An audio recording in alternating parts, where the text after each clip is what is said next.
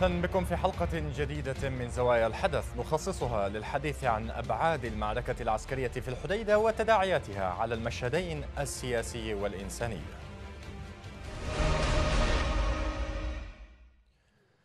حذرت منظمة الصحة العالمية من أن تصاعد القتال حول مدينة الحديدة سيؤثر على حياة مليوني يمني.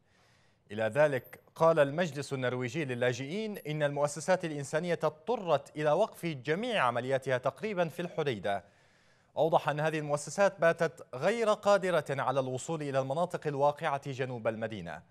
وحث المكتب الأطراف على حماية الميناء والطرق المؤدية إليه وتسهيل وصول الغذاء والدواء إلى المحتاجين وفتح ممرات آمنة للمدنيين. في هذه الحلقة من زوايا الحدث نقف عند هذا الخبر لنناقشه في محورين. هل تتمكن الضغوط الأممية والدولية من تجنيب المدنيين ويلات حرب الحديدة؟ وما مدى تأثير التخوفات الإنسانية على مسار معركة تحرير المحافظة؟ نتابع التقرير التالي مشاهدينا ومن ثم نعود لبدء النقاش مع ضيوفنا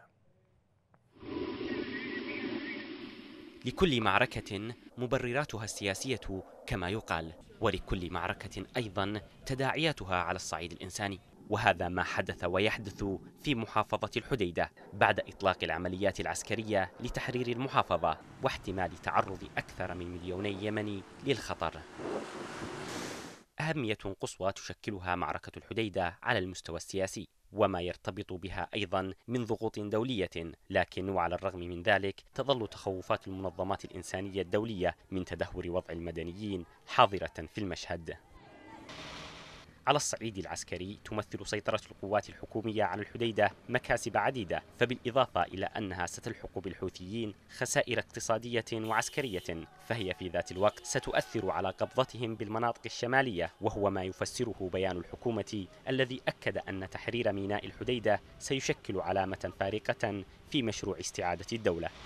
أما على الصعيد الإنساني تقول منظمات دولية إن القتال يمكن أن يؤدي لكارثة إنسانية تهدد الإمدادات في غالبية المناطق الشمالية كما أن الحديدة كمدينة تحوي منشآت ومصانع تجارية وحيوية ستتأثر بفعل الحرب وبالتالي فإن الآثار التي قد يتركها قتال الشوارع لا تزال مجهولة العواقب.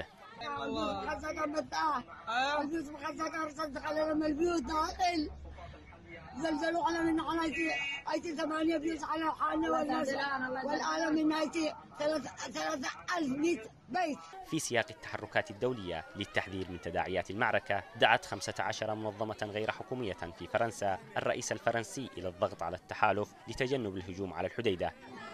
من جهتها حذرت منظمة الصحة العالمية من تصاعد القتال في مدينة الحديدة وقالت أنه سيؤثر على حياة المدنيين وقال رئيس المنظمة إنه يشعر بقلق عميق من تصاعد القتال حيال التأثير الذي سيتركه على حياة السكان القاطنين في المدينة وضواحيها مجددا ترحيب بكم مشاهدينا الكرام كما أرحب بمن ينضم إلينا الان من الحديدة المتحدث باسم الوية العمالقة العميد ناصر الرضامي أهلا بك سيادة العميد.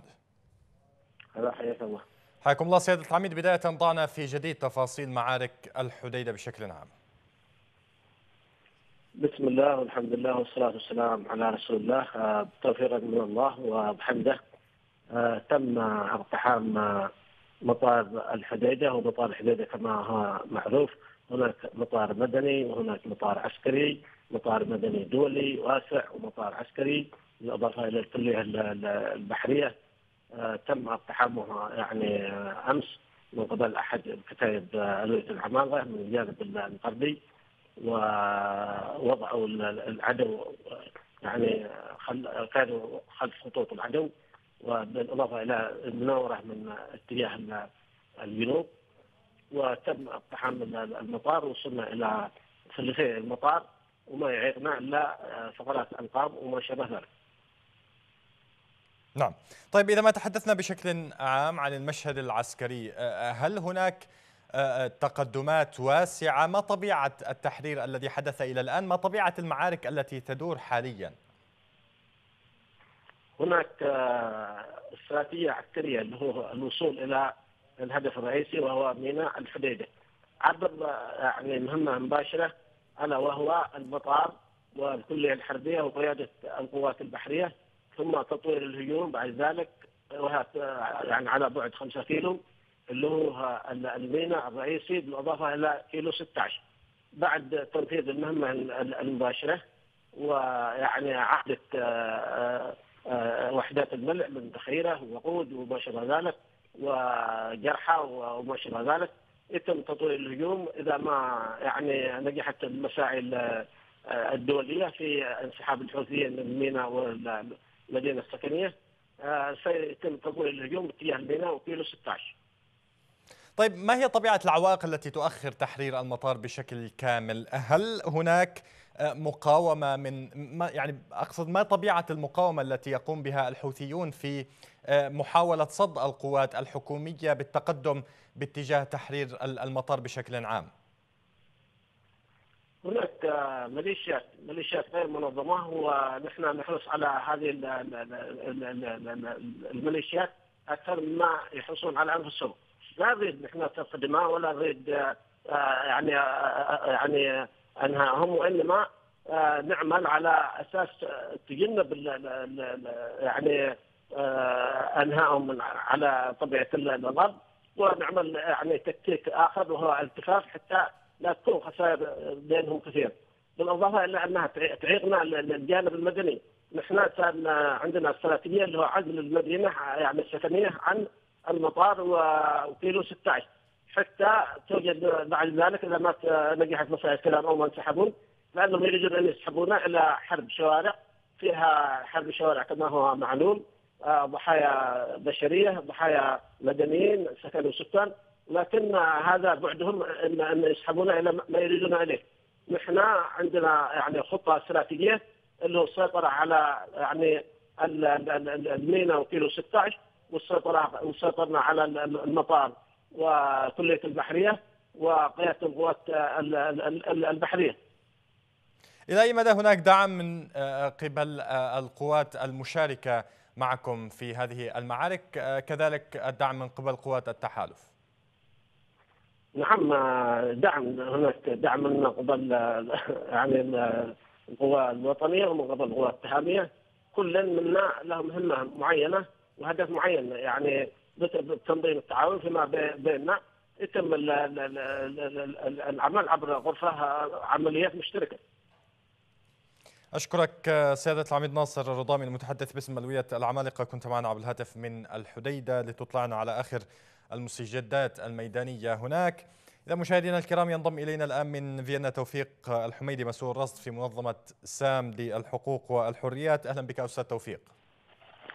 أهلا وسهلا بك وبجميع آه، مشاهدي قناتكم الكريمة. حياكم الله. إذا أستاذ توفيق بالتوازي مع المعركة العسكرية هناك حديث كبير حول المعاناة الإنسانية المتوقع والأثار المترتبة على تلك المعارك. من خلال ملاحظتك ومن خلال ما تم رصده إلى الآن كيف يعيش المواطنون في مناطق التماس هذه اللحظات؟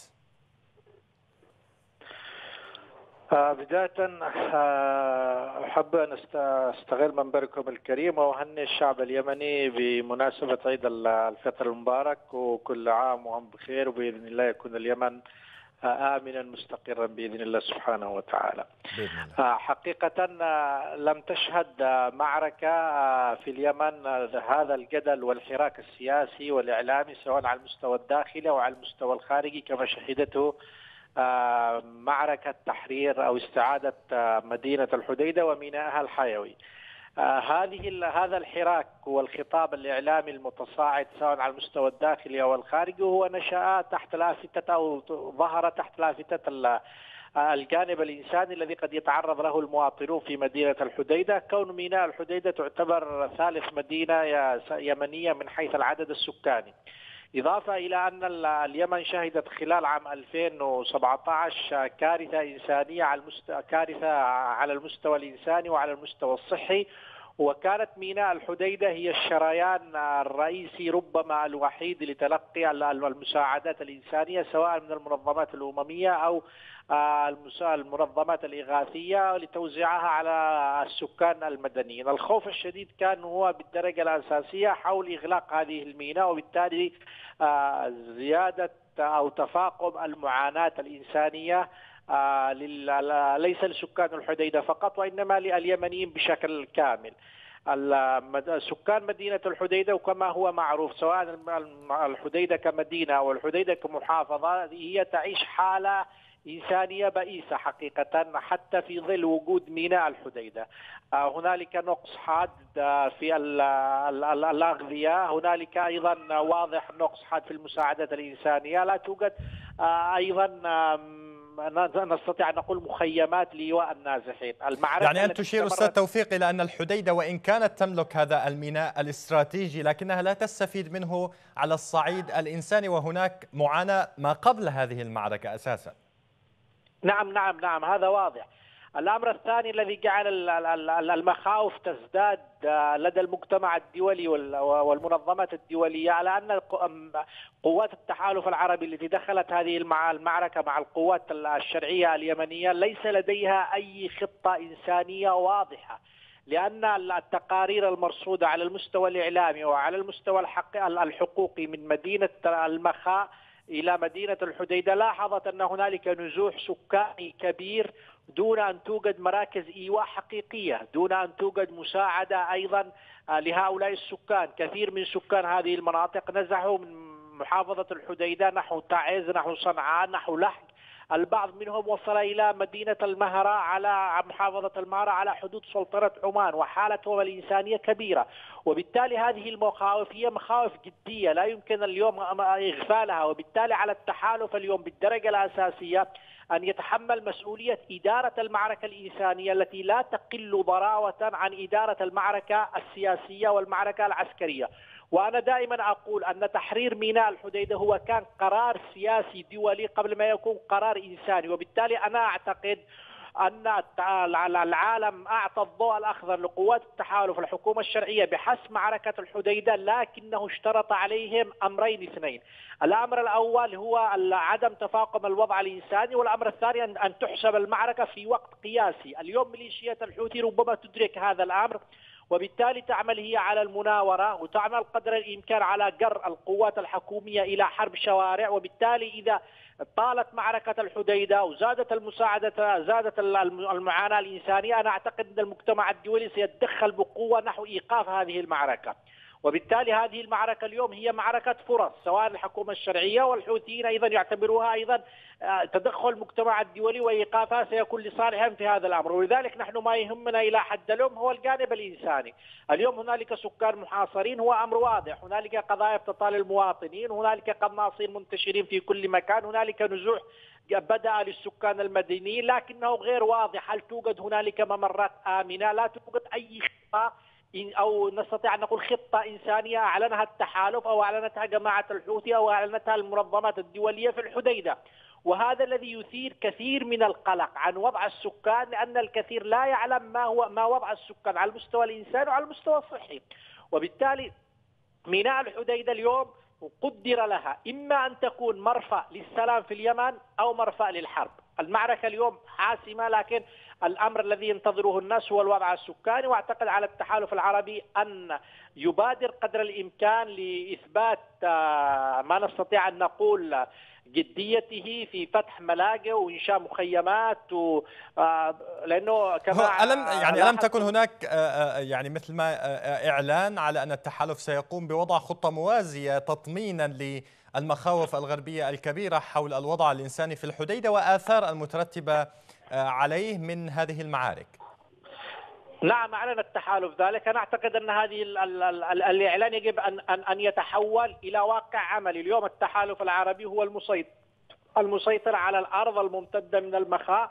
إلى الحديدة. لديه ميناء عدن لديه ميناء المخاء لديه ميناء آه، في حضرموت. وبالتالي يستطيع اليوم أن يعلن عن إنشاء معسكرات لاستقبال آه، النازحين ويعلن للعالم لزيارة مثل هذه المعسكرات وتوفير الخدمات له.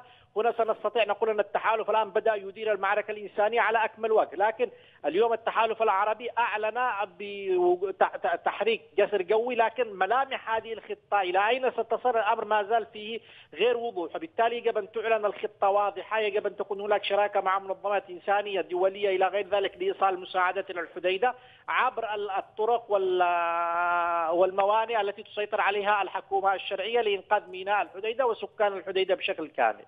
طيب عند الحديث عن معركة الحديدة يكون هناك تسليط ضوء على الجهود الدولية المتعلقة فيها. كان هناك حديث على أن المبعوث الأممي متواجد الآن في صنعاء لمحاولة وقف هذه المعارك وإيجاد نوع من الحل السياسي بعيدا عن المعارك العسكرية. إلى أي مدى يمكن التعويل من خلال المنظم يعني إلى أي مدى تعول المنظمات الإنسانية على دور المبعوث الأممي في وقف مثل هكذا معركة محتملة وتسليم المدنيين وتجنيبهم الكثير من الآثار التي تترتب عليها. آه، طبعا هو قرار معركة الحديدة أو قرار استعادة ميناء الحديدة. هو كان قرار سياسي. الحوثيين كانوا يتمسكون بميناء الحديدة لأن ميناء الحديدة أولا بالإضافة إلى أنه شريان ما شريان مالي بالنسبة لهذه الجماعة ومنفذ مهم يطلون فيه على العالم.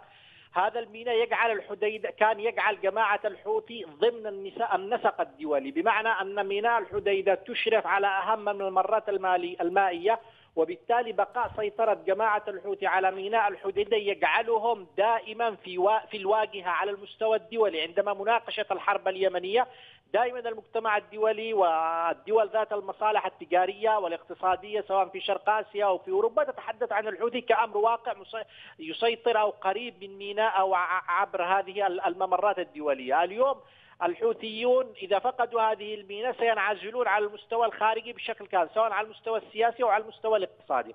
وبالتالي اليوم القرارات التي تدار حول الحل هو يتعلق بالمصلحة وبالحل السياسي بالدرجة الأولى. اليوم الملفات الإنسانية نكون واضحين بكل جد هو ملفات متأخرة ليست ملفات تحقق ليست لها أولوية أساسية في هذه المعركة. وبالتالي أنا أعتقد هذه الجهود سيحاولون تعتمد على جماعة الحوثي إذا كانت جدية بمحاولة الحفاظ على بقائها في هذا الموقع من عدمه وبالتالي ماذا سيقدم المجتمع الدولي لهذه الجماعة؟ من أجل أن تبقى في هذه المعادلة؟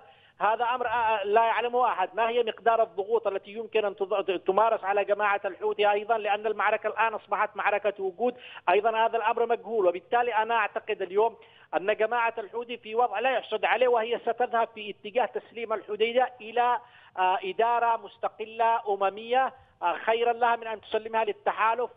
ستحاول العودة إلى الحل الأول، لكن هل التحالف العربي اليوم من مصدر القوة وإدارة المعركة الأرضية سيقبل بهذا الحل أم أنه سيفرض شروطه الجديدة؟ طيب هذا أمر في هذا السياق أستاذ توفيق في هذا السياق إذا ما تحدثنا عن سيناريوهات المعركة في الحديدة آه، ونتحدث عن السيناريو الأمثل للوضع الإنساني. ما هو المتوقع وما هو الأفضل للمدنيين هناك في الحديدة؟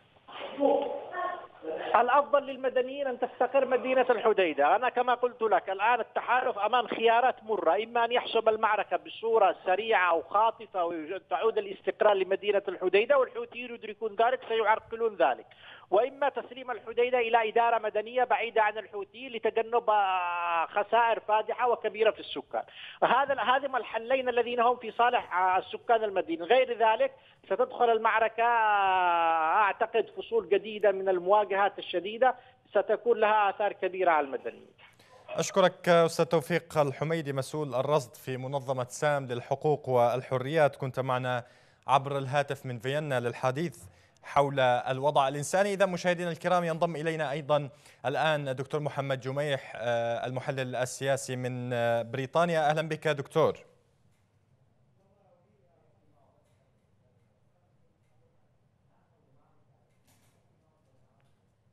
دكتور.